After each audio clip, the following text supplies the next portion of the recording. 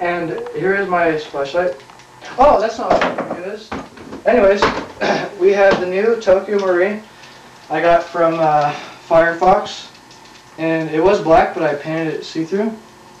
And um, here's my recently modded up gun in a bag.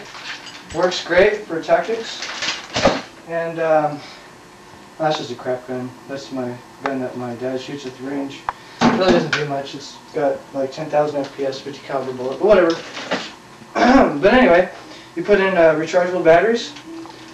And um, when I got mine, I was kind of mad. I had to send an email to the people that sold this to me, tell them I'm missing the door hinge thing, and um, I think it goes this way actually. Um, that does not go there. But anyway, oh, I bought a new suppressor. I think it's an amplifier. I was just remembering this one time. Me and my friends were airsofting, and uh, he shot me, and it hurt so bad. I got on. But anyway, here's the new um, 1,000 BBs for $50 at website. And anyway, pour the BBs in. Um, my dad didn't tell me how long you're supposed to put it in for. I think you're supposed to put it in for 9.6 volts or something.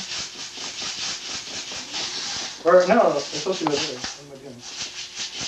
Oh, now for the batteries on. I forget. Anyway, um, I don't see anything I can shoot in my bedroom right now. What the heck?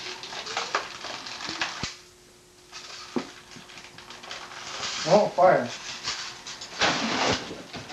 Maybe it needs some loosening up. Probably tense.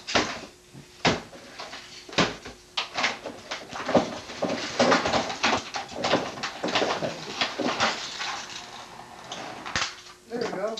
And that's your modded up airsoft gun. Thank you for watching. Oh, oh man, dude. Oh.